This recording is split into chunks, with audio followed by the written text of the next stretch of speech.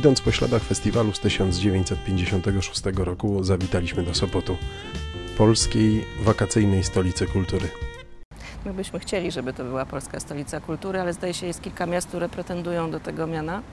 E, Na pewno staramy się, żeby Sopot był e, bardzo mocno z kulturą związany, nie kojarzył się wyłącznie z e, wypoczynkiem i z, wakacjami, ale też z wydarzeniami, które są ważne.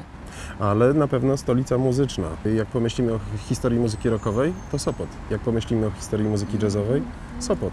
Myślę, że Sopot jest w ogóle stolicą takiego wolnego myślenia i docierały tu zawsze e, tak zwane nowinki. No przecież muzyka rockowa się zaczęła w czasach, kiedy jeszcze nikt o tym nie myślał w Polsce, ale tutaj zawsze była jakaś taka, em, taka aktywność ludzi, którzy przywozili różne rzeczy. Przywozili muzykę, przywozili płyty e, i duże zainteresowanie tym, tym nowym.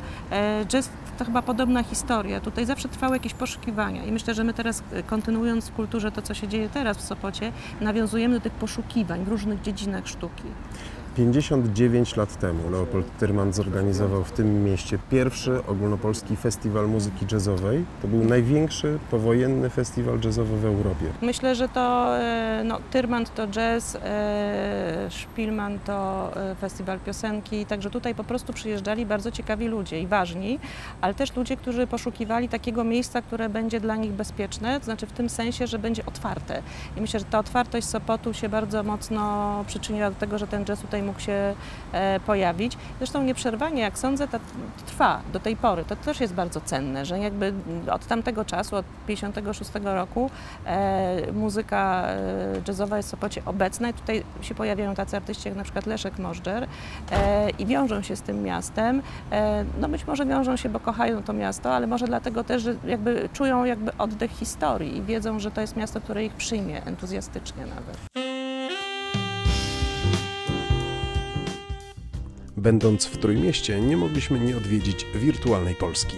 W ten upalny dzień zawitaliśmy w gościnne progi wirtualnej Polski. Witamy. Jest z nami Basia Żelazko, redaktor naczelny e, serwisów rozrywkowych. Miło mi.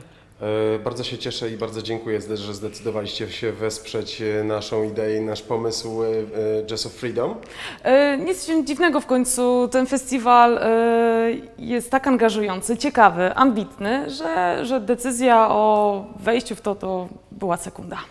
Będziemy się e, spotykać z naszymi widzami na łamach Wirtualnej Polski. E, Adres wp.pl jest wszystkim znany. Będziemy też często gościć u Ciebie.